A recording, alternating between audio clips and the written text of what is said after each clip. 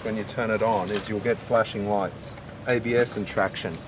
They're just telling you the systems are active. As soon as the wheels start spinning, those lights go out. Uh, it's only if you use the button to deactivate traction, you'll get a solid light that stays on while you ride, or press for a longer period of time, press through, through, through until you get an icon change now, everything's disconnected. So she's old school. No ABS, no traction control. The mode button will still affect the other aspects of what the mode button adjusts. Power delivery, suspension setting, but no impact on ABS or traction because it's deactivated.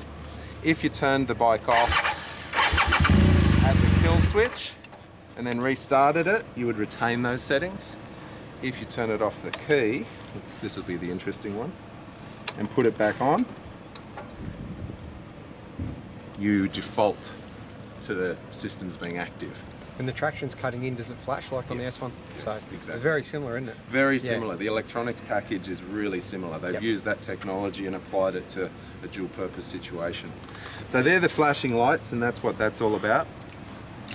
The mode button, like we spoke about last night, you press it once to wake it up. You get your current setting with the arrow, and then you get the a duplicate of that. And from there, actually, the current setting is the above one. The one below is what you're about to select. So you've got sequential from rain to road to dynamic to enduro.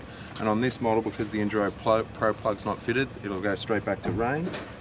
Um, and, and let's just say you're from enduro at the moment and you're about to hit the bitumen, so you want the road setting. You've got 60 seconds while you're rolling to go in and out with zero throttle. So it's not something you have to rush. It's something that's pretty easy to deal with. If you're stationary, it'll make the change by itself. You don't have to do that sequence. So that's how the mode button's working. Um, like I said, anyone who has ridden an S1000 will be quite familiar with that sort of arrangement. But if you haven't, that's that's how it works. Um, ESA button, press it once to wake it up, and it'll tell you where you're currently at. You're at a single helmet preload setting in the normal damping. Have you used this before? No. No, jump, I'm jump around. If you've used it before, I've played with it, so I've now you've got to have the engine running to make a, an effect to the preload. So at the moment, I think someone's been playing with this one because it's making an effect right now. So press it once, wake it up, press it again, moves to the next setting, which is helmet and luggage. So we've got panniers or a gear bag on the back. Press it again and you get two helmets, you've got a pillion on the back. That's affecting preload change to the rear only. Okay? So we've one rider today without luggage, so we might as well start in the single helmet. While it's flashing, the change is taking effect. Do that stationary with the engine running. You can feel it, it's quite obvious. If you're sitting on the bike with the weight through your feet, just go from the double to the helmet and, and feel the extreme of the preload. Now on the fly, press it once to wake it up. Sport, normal, hard, uh, sorry, hard, soft and normal. Um, so they're, they're changeable on the fly. So Takes you- a couple of engage it, you just leave it yeah, on. just boom, boom, boom. Press it once to wake up, Yep. and then sequentially just press it, and you get your effect. Um, so, How do you get the helmet thing happening? sorry, How do you get the helmet thing happening? press it once to wake it up, press and hold. Yeah, so these multi-function buttons are handy. The reason I think it works well is because you don't have to go into a, menu option and then start scrolling to the function that you're looking for. It's simple, that does that. A short press has one function, a long press has another, and you're not diving into menus and looking for things. And the other good thing is, with the traction and ABS, if you use the kill switch, it retains the setting. You know, I know on some competitor brands, as soon as you kill the bike, either here or here, default, defaults to uh, standard and you're always changing that. And like I said last night, with this mode button and your off-road settings, there's a lot less reason to deactivate. So I really will probably find somewhere to do a nice demonstration, an ABS demo in rain mode on dirt versus the same demo at the same speed in enduro mode on dirt will have a much different effect because the ABS is um, really calibrated to both situations and the road calibration is not as effective on the dirt the, the dirt calibration's probably not as effective on the bitumen either. Miles, the turning the thing off by the kill switch to retain everything, Yep. how long do you reckon is safe? Sort of an hour or two? Ah, look, Doesn't it's usually the sort of thing. No, it Yeah. doesn't use a lot of power because it kills the main beam. It's the sort of thing that I would recommend when you you're stopping to wait for someone. You just can't see them. You pull over. Okay, I want to kill the engine. Kill it with that. Yeah. You might wait 30 seconds. You might wait a few I minutes. mean, with the other system I've done, cafe stop and. Yeah, you can do a stop here, but, for longer, but you know, your hmm. conditioning your battery is going to have an impact on that. If your battery, if your bike's a few years old, and you're going to stop more than a couple of minutes, you're probably better off turning it off at the key. I think it remembers the ESA mode, doesn't it? Like, Yeah, yeah, ESA stays the same. That when I talk about default, it's Yeah. only the safety systems Yeah, yeah. that return. ESA stays where you It'll be on comfy, it stays on comfy. Down boy. Flick it across, set it. While you're riding, pressing forward will go up in one kilometre increments, and backwards will go down in one kilometre increments. Um, deactivate by either moving the button across, turning the throttle off will sense that you're, uh, you want the, the cruise control off. Touch the brake or pull in the clutch, and it'll just go back to normal. Yep, or more longer term. So you've got fuel consumption, average speed, Average speed 5.9, so that must have been reset. Press and hold resets these things.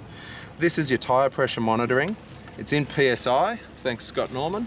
Um, it's available in bar or kilopascals as well, but it has to be changed at the dealership.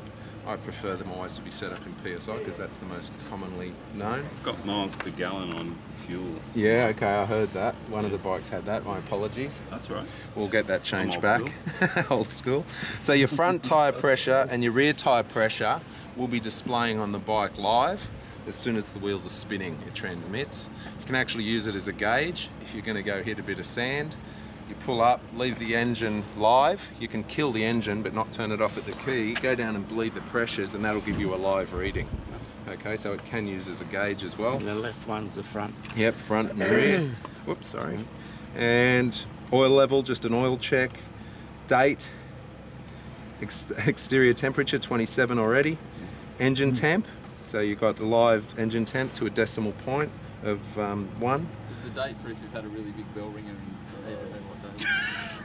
It is, amongst other things. so that's uh, that's what's going on there. Your trip meter will give you one trip, two trip, range, um, about 330. This will probably start climbing still. I've noticed when you fill them up, they go to an estimated range of about 360. Um, so it, it probably will start climbing a bit more, depending if it's been topped right up. bigger tank miles? No, same They tank. improved the fuel consumption. Um, it's it's the same or a little bit better. Yeah. Yeah. Um, average speed. Um, and there's your trip. Where's my auto trip? I don't think auto trip's been engaged on this one. I'll have to double check.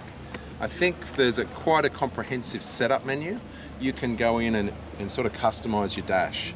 Everyone I've ridden to now has had the auto trip setting live. So if you jump on your bike and scroll through your trips, your trip A is probably set on zero now or maybe 1k because we just rode them up from the basement so it'll reset overnight like I mentioned last night. Um, with the dis with the range that'll count down to zero. When it gets to zero, traditionally on, on some of the previous models you've still been able to get about 30 k's out of it. With this bike I actually tested it myself, I got about 15 out of it and it stopped. So you wouldn't want to count on any more than 10 15 max once it hits zero. So as soon as you're getting a fuel warning light at about 60 range, start thinking about your fuel options. Try to get some fuel in it before you get to zero. High beam is uh, pulled towards you for a flash, push away and it locks on. So multi-function again, so pull forward, you get a flash, push away, you get the, the high beam staying on.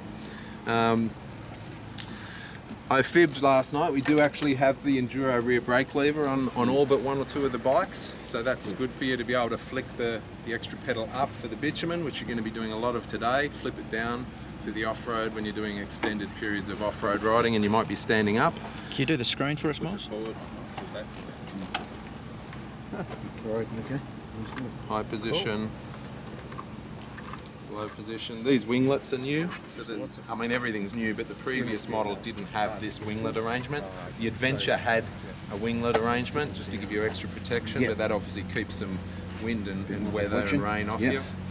Um, the headlight covers are removable, so at, at night or if you want to clean it, it's very easy to clean. They just pop on and off. So don't put your GoPro on that, man. Uh, they're pretty. They're pretty solid. They're, they're, it's quite a nice indent. It wouldn't fall off in a hurry. But it will. Might, it might wiggle away a bit. It depends. Okay. I'm glad you showed me that. Yeah. Um, any questions? Is there any tools at all? Very little. I don't Very think it might have even been removed from under the seat. We sometimes do that with the. Because we don't Trust trust you to play with tools. I didn't say that, Trevor. Mm-hmm. Any any questions? You've got two components to adjust the seat. The front component has a H on it. The rear component has a H. By flicking that that way, you get the L for the low position.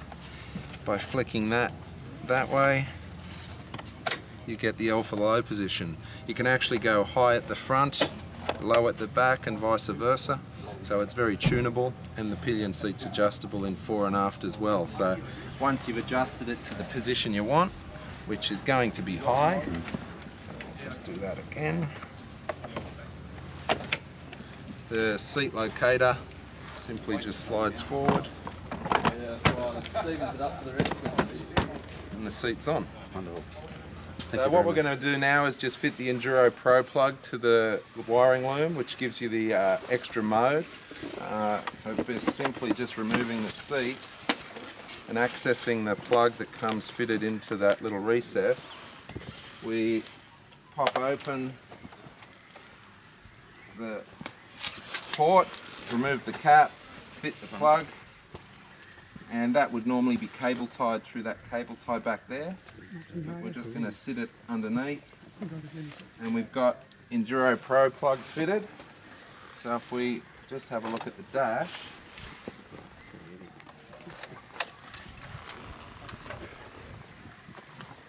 You can see the, the little plug symbol. And if we scroll through the modes now, the next mode will be Enduro Pro.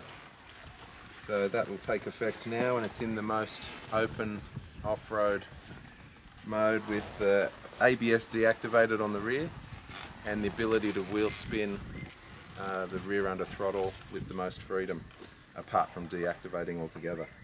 So that's pretty simple and straightforward. It's just up to the customer to make that decision based on the fact that he's an advanced off-road rider and there's aggressive off-road tyres fitted to the motorcycle. Thank you.